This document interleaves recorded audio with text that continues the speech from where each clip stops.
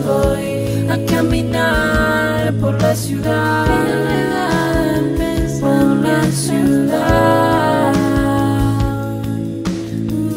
Bajo cables que me miran y me dicen dónde vas si no puedes escapar de tus pensamientos.